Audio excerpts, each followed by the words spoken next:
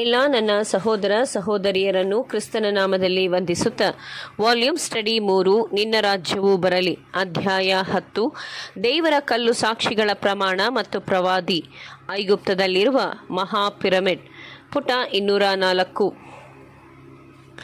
ಮಹಾ ಪಿರಮಿಡ್ನ ನಿರ್ಮಾಣದ ದಿನಾಂಕದ ಬಗ್ಗೆ ಪ್ರೊಫೆಸರ್ ಸ್ಮಿತ್ ರವರ ಈ ತೀರ್ಮಾನವು ನಂತರದಲ್ಲಿ ಮಹಾಪಿರಮಿಡ್ ನಿರ್ಮಾಣದ ಬಗ್ಗೆ ಸೂಚಿಸುವ ಕೆಲವೊಂದು ಅಳತೆಗಳ ಮೂಲಕ ಪಿರಮಿಡ್ ತನ್ನ ನಿರ್ಮಾಣದ ದಿನಾಂಕವನ್ನು ತಾನೇ ಬಹಳ ಹೆಚ್ಚಾಗಿ ಸಮರ್ಥಿಸಲ್ಪಟ್ಟಿತು. ಮಹಾ ಪಿರಮಿಡ್ ವಿನ್ಯಾಸದ ಜ್ಞಾನವನ್ನು ಪ್ರದರ್ಶಿಸುವುದಾಗಿದ್ದು, ಅಂತಹ ಜ್ಞಾನವನ್ನು ಐಗುಪ್ತರು ಹೊಂದಿರಲಿಕ್ಕಿಲ್ಲ ಎಂಬ ಸತ್ಯದ ಅರಿವು, ದೈವಿಕ ಜ್ಞಾನವು ದೇವರ ಯಾವುದೇ ಸ್ಫೂರ್ತಿಯುತ ಸೇವಕನ ಮೇಲ್ವಿಚಾರಿಕೆಯಲ್ಲಿ ಈ ಕಾರ್ಯವು ನಡೆದಿದ್ದಿರಬಹುದು ಮತ್ತು ಮೆಲ್ಕೀಚದಕನೇ ಅದರ ನಿರ್ಮಾಣಿಕನು ಎಂಬ ಅಭಿಪ್ರಾಯಕ್ಕೆ ನಡೆಸುತ್ತದೆ. ಆತನು ಸಾಲೇಮಿನ ಅರಸನಾಗಿದ್ದನು, ಅಂದರೆ ಸಮಾಧಾನದ ರಾಜನು ಮತ್ತು ಮಹೋನ್ನತನಾದ ದೇವರ ಯಾಜಕನಾಗಿದ್ದನು. ಮೆಲ್ಕಿಚದಕನು ಒಬ್ಬ ವ್ಯಕ್ತಿಯಾಗಿ ಮತ್ತು ಸಂಕೇತವಾಗಿ ಅಬ್ರಹಾಮನನ್ನು ಆಶೀರ್ವದಿಸುವ ಉನ್ನತ ಸ್ಥಾನದಲ್ಲಿದ್ದನು. ಅಬ್ರಹಾಮನು ಸಹ ಆತನಿಗೆ ದಶಮಾಂಶವನ್ನು ಅರ್ಪಿಸಿದನು. ಆದಿಕಾಂಡ ಹದಿನಾಲ್ಕು, ಇಪ್ಪತ್ತು.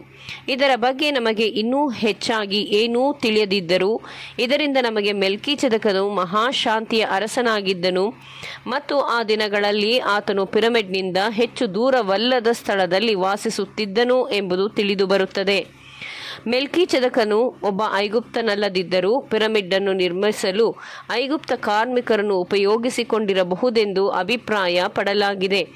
ಐಗುಪ್ತದ ಚರಿತ್ರೆಗಳು ಕೆಲಮಟ್ಟಿಗೆ ಈ ವಿಚಾರಣಾ ಸರಣಿಯನ್ನು ಬೆಂಬಲಿಸುತ್ತವೆ.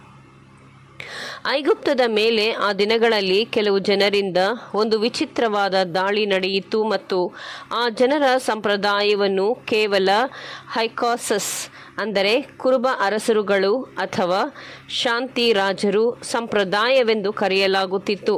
ಈ ಆಕ್ರಮಣಕಾರರು ಐಗುಪ್ತದ ಸಾಮಾನ್ಯ ಸರ್ಕಾರವನ್ನು ತೊಂದರೆಪಡಿಸಲು ಪ್ರಯತ್ನ, ಪ್ರಯತ್ನಿಸಲಿಲ್ಲ. ಅವರು ಕೆಲವು ಸಮಯದವರೆವಿಗೆ ಸಂಪ್ರದಾಯದಿಂದ ಕಂಡುಕೊಳ್ಳಲಾಗದ ಯಾವುದೋ ಉದ್ದೇಶದಿಂದ ಅಲ್ಲಿ ತಂಗಿದ್ದರು. ಆ ಉದ್ದೇಶವು ನೆರವೇರಿದ ನಂತರ ಅವರು ಬಂದಂತೆಯೇ ಶಾಂತ ರೀತಿಯಿಂದ ಐಗುಪ್ತದಿಂದ ಹಿಂದಿರುಗಿದರು. ಈ ಹೈಕಾಸಸ್ಗಳು ಅಥವಾ ಶಾಂತಿಯ ಅರಸರುಗಳಲ್ಲಿ ಮೆಲ್ಕೀಚದಕನೂ ಇದ್ದಿರಬಹುದೆಂದು ಅವರು ಮಹಾಪಿರಮಿಡ್ಡನ್ನು ದೇವರ ಬಲಿಪೀಠ ಮತ್ತು ಸಾಕ್ಷ್ಯ ಇವನ್ನು ಐಗುಪ್ತ ದೇಶದಲ್ಲಿ ಕಟ್ಟಿರಬಹುದೆಂದು ಊಹಿಸಲಾಗಿದೆ. ಜೋಸೆಫಸ್ ಮತ್ತಿತರರು ಮೆನೆಥೋ ಎಂಬ ಐಗುಪ್ತ ಯಾಜಕನು ಮತ್ತು ಶಾಸ್ತ್ರಿಯನ್ನು ಉಲ್ಲೇಖಿಸುತ್ತಾ ಹೇಳುವುದೇನೆಂದರೆ, ನಮಗೆ ಬಹಳ ಹಿಂದೆ ಥಿಮಾಸ್ ಎಂಬ ರಾಜನಿದ್ದ. ಆತನ ಸಮಯದಲ್ಲಿ ದೇವತೆಯು ನಮ್ಮ ಮೇಲೆ ಅತೃಪ್ತಿಗೊಂಡಿತು ಅದು ಹೇಗೆ ಎಂದು ನನಗೆ ತಿಳಿಯದು. ಪೂರ್ವದಿಂದ ಆಶ್ಚರ್ಯಕರವಾದ ರೀತಿಯಲ್ಲಿ ಕೆಲವು ಕೀಳು ಮಟ್ಟದ ಕುಲದವರು, ಹೈಕಾಸಿಸ್ಗಳು ಬಂದರು. ಅವರಿಗೆ ನಮ್ಮ ದೇಶವನ್ನು ಆಕ್ರಮಣ ಮಾಡಿಕೊಳ್ಳುವ ಭರವಸೆ ಇತ್ತು ಮತ್ತು ಅದನ್ನು ಯಾವುದೇ ಯುದ್ಧವಿಲ್ಲದೆ ಸುಲಭವಾಗಿ ವಶಪಡಿಸಿಕೊಂಡರು. ನಮ್ಮನ್ನು ಆಳುವವರು ಅವರ ಕೈವಶರಾಗಿರುವಾಗ ಅವರು ನಮ್ಮ ದೇವರುಗಳ ದೇವಾಲಯಗಳನ್ನು ನಾಶಪಡಿಸಿದರು. ಅದರ ವಿಚಿತ್ರವಾದ ಸ್ಥಳ ಇಟ್ಸ್ ಪೆಕ್ಯುಲಿಯರ್ ಲೊಕೇಶನ್ ಮಹಾಪಿರಮಿಡ್ ನೈಲ್ ನದಿಯನ್ನು ವೀಕ್ಷಿಸುವಂತೆ ಒಂದು ಎತ್ತರವಾದ ಬಂಡೆಯ ಸಮತಲ ಪ್ರದೇಶದಲ್ಲಿ ಕೈರೋ ನಗರಕ್ಕೆ ಹೆಚ್ಚು ದೂರವಲ್ಲದ ಸ್ಥಳದಲ್ಲಿದೆ.